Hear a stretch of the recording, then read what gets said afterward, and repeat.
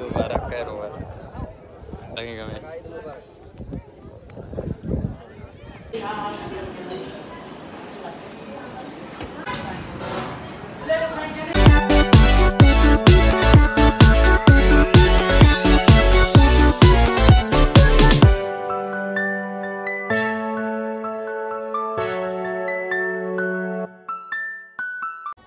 माशाल्लाह से आज वो दिन है, जिस दिन पर सारे मुसलमान एक दूसरे के साथ गले मिलते हैं। सुनत इब्राहिमी भी अदा करते हैं और सुनत मोहम्मद मुस्तफ़ा सल्लल्लाहु अलैहि वसल्लम भी अदा करते हैं। तो अस्सलाम वालेकुम गाइस, मैं हूँ सदाकत दिन और आपको एक नए व्लॉग में खुश आमदीद। तो गाइस, आज ईद का मुसरत मौक़ है तो यहाँ पर हम ईदगाह में जमा हुए हैं। ईद की नमाज़ अदा करने के लिए यहाँ पर लोग जो कि देहाती हैं, सारे गाँव के पहुँच चुके हैं। अभी कुछ ही देर में नमाज़ स्टार्ट होने वाली है। बाकी जो कि जाकर पाँच मिनट बचे हैं तो जाते हैं अंदर तो वहीं पर नमाज़ स्टार्ट करते हैं।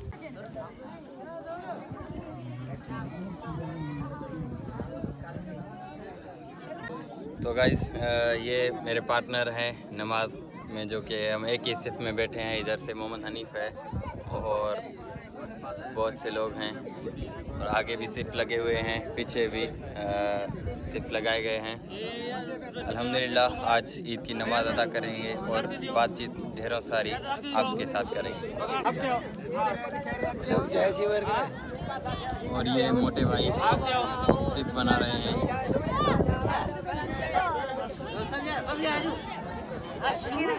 से सामने ये हमारे पेश इमाम साहब हैं, जो कि अभी इंतज़ार में है टाइम देख रहे हैं। बाकी जाकर पाँच मिनट बचे हैं उसके बाद इंशाल्लाह नमाज़ अदा होगी।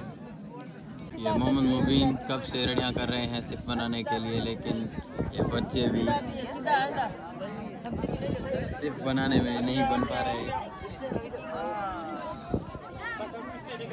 और अभी कुछ ही देर में नमाज़ अदा करने वाले हैं। सिर्फ़ तीन मिनट बचे हैं। इधर से सारे तैयार हो चुके हैं सिर्फ़ लग गए हैं। अभी ये सेल्फी बना रहे हैं देखिए। फहद और असद।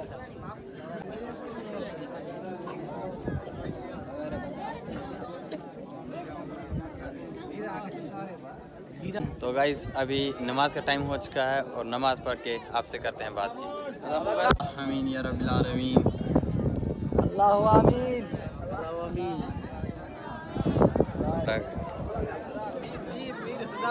ईद मुबारक। ईद मुबारक। खैर मुबारक। खैर मुबारक नज़ीर ईद मुबारक। सीधे मुबारक रे। खैर मुबारक तरह ईद मुबारक। नाना ईद मुबारक। ईद मुबारक। खैर मुबारक। ईद मुबारक बीते ईद मुबारक। ईद मुबारक। खैर मुबारक। ईद मुबारक इमदाद। मारे नुकसान में पंजा रही सी रईस ईद मुबारक इतने रही स्कूल के अखे दो मोहम्मद हकीम मोहम्मद मुबीन काका ईद मुबारक रईस ईद मुबारक मुबारक ईद मुबारक काका ईद मुबारक चाचा खैर मुबारक चाचा, ईद मुबारक हाँ, ईद मुबारक ना ईद मुबारक मामा इनको क्या लगेगा मैं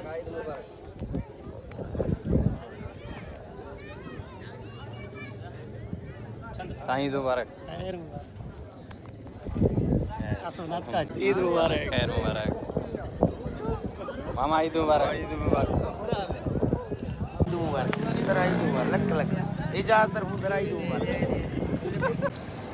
तो गाइस बेसिकली हुआ यह है कि हमने ईद नमाज़ अदा करके अभी नवाब शाह, जो कि सिंध का बहुत ही खूबसूरत शहर है, उसकी तरफ़ निकले हैं। मैं हैं, मैं हूँ और असद भाई है। आसिफ जरदारी का शहर है, नवाब शाह शहीद बेनज़ीर आबाद। तो वहीं जाते हैं और रास्ते के जो मनाजिर हैं, आपको दिखाते हैं और जो मज़ीद बातचीत होगी, फ़न होगा वो दूसरे विलाग में करेंगे तो